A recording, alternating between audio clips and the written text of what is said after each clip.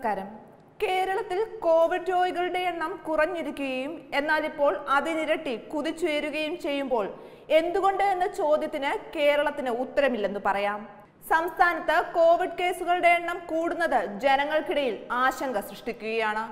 കേസുകളുടെ എണ്ണം കൂടിയാലും ചിട്ടയായ പ്രവർത്തനങ്ങളിലൂടെ സ്ഥിതി നിയന്ത്രണ വിധേയമായി കൊണ്ടുപോകാമെന്ന കണക്കുകൂട്ടലിലായിരുന്നു സംസ്ഥാന സർക്കാർ.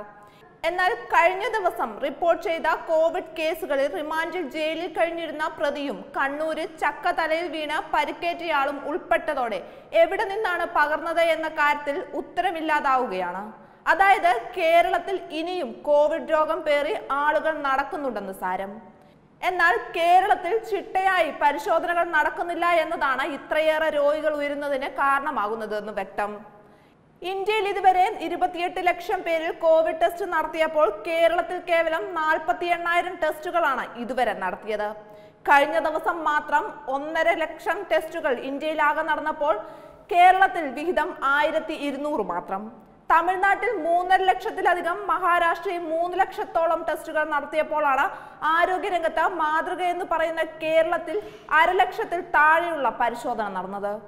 ആന്ധ്രാപ്രദേശ് രാജസ്ഥാൻ ഉത്തർപ്രദേശ് കർണാടക ഗുജറാത്ത് എന്നീ സംസ്ഥാനങ്ങളൊക്കെ ഒന്നര ലക്ഷത്തിലധികം ടെസ്റ്റുകൾ നടത്തിക്കഴിഞ്ഞു പ്രവാസികളെയും ഇതര സംസ്ഥാനത്ത് നിന്ന് സംസ്ഥാനത്തെത്തിയവരെയും പരിശോധന കർശനമാക്കിയപ്പോൾ അവരിൽ രോഗം കണ്ടെത്തി.